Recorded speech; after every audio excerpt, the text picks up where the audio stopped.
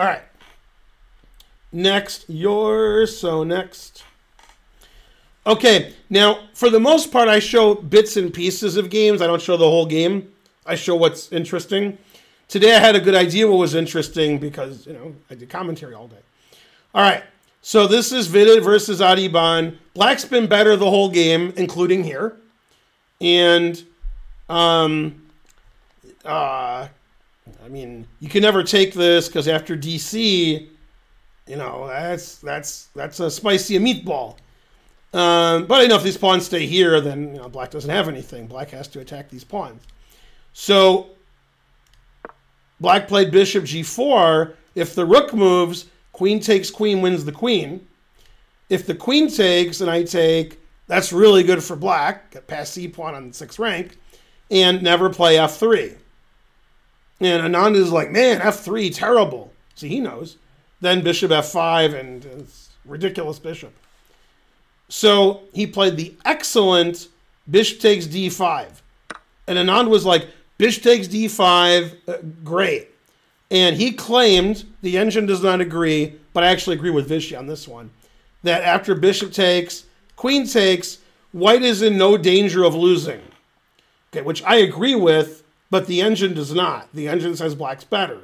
The engine likes being ahead material. Although, when you look at the engine lines, black just moves around doing nothing. So, and he thought this was a very easy draw, no problem, etc., mainly etc. I was surprised that Anand said mainly etc. And then that's what happened, bishop d5. And then he took, and then we choked on our own rage. He made the worst move. That's the best move. Rook takes is the second best move, and he did this losing instantly. The, the worst move in chess history. And Anand was, I mean, Anand had no words, right? And Piper Laurie went up to Anand and said, you know, what she said, and Anand said, Do you need the words? And Piper Laurie said, Yes. And if you say them, I'll ne- you'll never be able to take them back. And then Anand didn't say anything.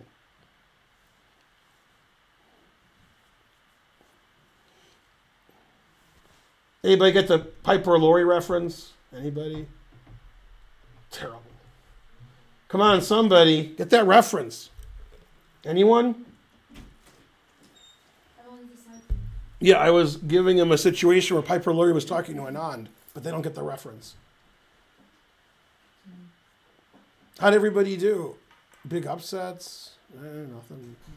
I don't know. No. Brad beat Jayashri. Yeah, I mean, I, I walked in on move one and Brad was up a lot of material. Yeah. Yeah, I don't know about the other guys. Okay. So you gonna let me know?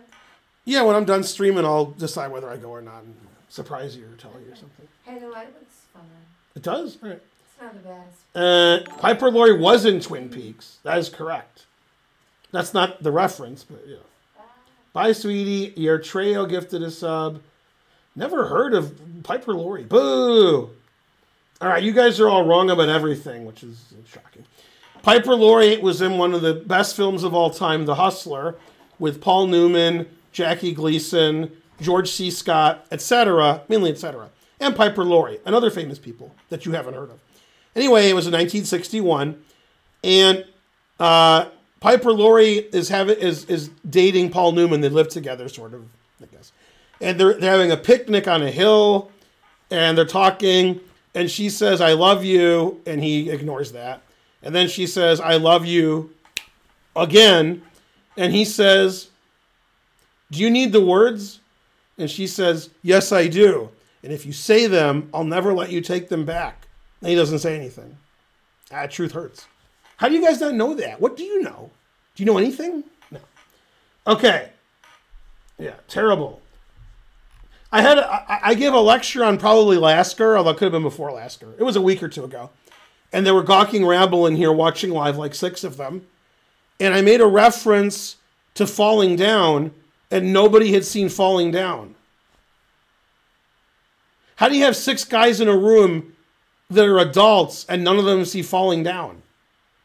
That's not even possible. And that was the maddest I've ever been in my life. Ever. Yeah, terrible. Right. Exactly. Mm. Terrible. Falling down is not good, it's fantastic. Mm-hmm. That's right, I know. That's right. Harrison Ford got it right in Star Wars. Yeah. Uh, terrible. Uh, that's right. Why doesn't the look at this flat, terrible, not juicy like the picture, etc. I don't know anything about Twin Peaks. However, my brother knows everything. So if you ever see my brother in the chat, MJ Finegold, he can answer your Twin Peaks questions and and Star Trek questions, the movies and the series. Uh, yeah, he could explain Twin Peaks to you. Yeah, he's the world's leading authority. Uh, okay. I mean, th- this is the worst move ever. And Anand, for the first time in his life, was choking on his own rage. This, this move is so bad. And I have an opinion which makes no sense, but I have to have some opinion. Okay, in this position, in my opinion, I think Adhiban, for reasons that make no sense, so that's why my opinion's sort of weird. I think he only looked at this at this move, which is idiotic, and then this, and you know it's a draw, but white's better. And I think he just forgot that you don't have to take stuff. So I mean, this wins immediately, which is what happened, and this also wins. But I think he just thought that. I don't. I don't know what he thought, because this is forced, and then after C two, he resigned. So I, I don't know. It's just totally nonsensical. So he played here because he has to, and then you know, he's out of peace. And he resigned. That's the kind of blunder you guys make, not not Adhiban. Adhiban's a beast.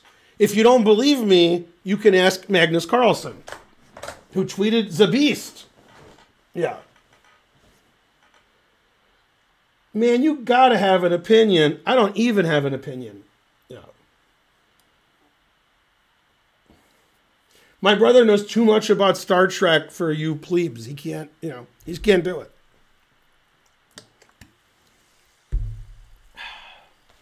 All right.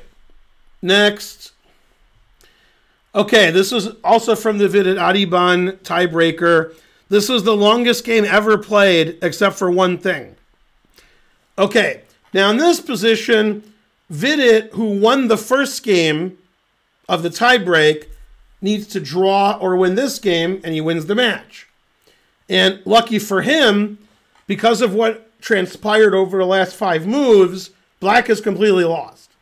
So you could take the knight this way, you can take the knight this way, you can take it with a wiffle ball bat. So Black's on the run, the knight got his gun. I mean, these moves just win a piece. Black's up a piece, What, White's up a piece. Black has a modicum of compensation. I mean, you know, he's got two pass pawns that are not dangerous. Okay, and the engine says like plus two. And instead, he plays for tricks, but Vidit didn't realize tricks are for kids. Played this move, terrible. Not taking the free knight. And now actually black's better. Um, yeah. So he played 95. I guess he missed that. I don't know. Asking me. And the reason this is good is because of a trick that's very hard to see. And white played this move, but if white plays the obvious, frankly, knight takes, and then says, hey, I'm up a piece, look at me, then bishop b3 is annoying. And probably when he played knight b6, he just missed that. He missed bishop b3 was strong. So now he saw bishop b3 was strong, so he played queen e3, but c'est pas différence. Knight c4, and if you want to win a piece, you have to take the queen. If you don't take the queen, you're just lost. Two bishops, passed pawn, what else? You gotta you gotta take the queen. And then it's the same thing, and this is better for black.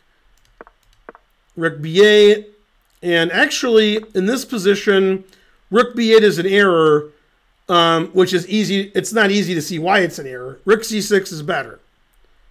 And after rook here, knight d7, maybe white's not lost. But knight d7 is not possible. I mean, it is possible, but knight d7 attacks the rook. So rook here was just more accurate. Okay, so they took the rooks. Bishop went to e2. Now, he could have played bishop a4, which is interesting because he's trying to trap um, the knight. But the engine says this is a little bit better. And this position is a two, a two result position. Either black wins or it's a draw. Black needs to win to, to win the match, to tie the match and go into another playoff. Okay, so that's what happens. And I really, really, really, really did not like Black's technique at all. And if my student played like Adhiban, I'd be really mad. Okay, Black should never trade pawns ever. And as Vishy pointed out, the winning plan is to play f6, king here, king here, g5, create a mating net, create a passed h pawn. And Adhiban played insanely, in my opinion, but he still won. But this shouldn't be a difficult win. These pawns are all weak. The bishop is masterful. Black has a simple plan of checkmating his opponent or taking all these pawns. And instead, he just traded everything. It's terrible. I've never been so angry. Okay, so first of all, I don't like that black let white play knight takes e5. I don't like that. That bishop is fantastic. The engine says it's okay. It's not my cup of tea. Okay, and white black's still winning. And Vishy gave a really nice winning idea. Put the rook here and get the king on this side. I mean, you can't you can't move your king over and stop it. This pawn's not defensible. You got to keep your king after rook f6. You have to decide where to move your king. If you go to g2, you know, here comes the king, just like in the game. And you want to have as many pawns as possible if you have black. If there's no pawns on the board, it's a draw. Rook against bishop is a draw. And Adhiban trade all the pawns. Come on. Ah, horrible. Okay, the engine says it's fine, but that's just the wrong that's the wrong way of playing. And then when he played h4, I was even madder. That doesn't make any sense. And he's very lucky that he won this because you don't know if you're winning. And what he should do is try to do the same kind of maneuver, put the rook on the g file, and then run that king over. And it's very hard to stop that because you got to you got to stay on this pawn. So once once the black rook is on g5, we can run away like this. So h4 I thought was too soon. Now we weren't sure if it was a win or a draw. I'm still not sure. By the way, just for fun, because you got to have fun in life, the first engine move, which doesn't do anything, it's just funny, is bishop h3. Just because it's funny. Got to have fun in life. Doesn't change anything. Black black still plays the same plan, but this is stalemate, which is funny. Bishop h3 is a move a human would consider. Okay, so they did nothing for forever. So Anand was pretty happy. And I was like, why are you so happy? And Anand said to me, Black's doing Vishwa nothing. That's exactly what he said. All right. And you got to have patience. Guns and Roses agreed. Yeah, we thought he was going to play Rook F2 here, but he played Rook E2, which also wins. Yeah, now the important question is what happens here. And then I just defend my pawn, and this pawn is not savable. So he has to go here. And eventually the king does get around. Um, Beach Boy style. Round, round, get around. That king gets around. Yeah. Anand was unhappy because black was making too many boring moves and not doing his plan. But then he sort of liked what black was doing because he was killing the bishop. The bishop can't go here, gets captured. Can't go here, can't go here, can't go here. And if it plays bishop d7, rook d8 wins the bishop. So the bishop was uh, didn't have a plethora of squares.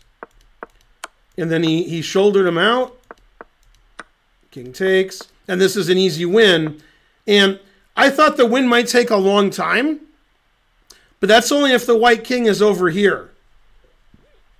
And the reason is, if my king is here, if it's not on e2, if it's on here, here, here, then if you play rook takes e4, I take the rook and play king e2 and it's a draw. But the king can't get back here. So now when you take on e4, you just win. So white has to get his king back here to make the win difficult. But now he just played here and then resigns. Because I go here, I go here, I go here. You could actually you could actually pre-move that. Yeah, you could pre-move this, this, and this, except they're playing on a real board, so you get in trouble if you pre-moved it. But yeah, after rook takes e4, and we take the rook and they take, white needs to play king e2 there. That's not going to happen. So this is the easiest win ever. It was 99 moves. And in a must-win game, Adhiban won. The day before, in a must-win game, Adhiban won. Adhiban's down 1-0 and he wins. He's down 1-0 and he wins. And now they got to play, you know, playoffs. We're talking playoffs. So that was an amazing victory because it was very quick chess and black was squeezing and squeezing and squeezing and squeezing. And eventually he won. These players are really evenly matched. I mean, it's Vidit's a better player in my opinion, but I think as the time gets quicker and quicker, you know, Adhiban's pretty tricky. Adhiban's beaten a lot of 2,700 players in his life. Drew subscribed. Good, good. Go, Drew. Uh, Keto7 subscribed.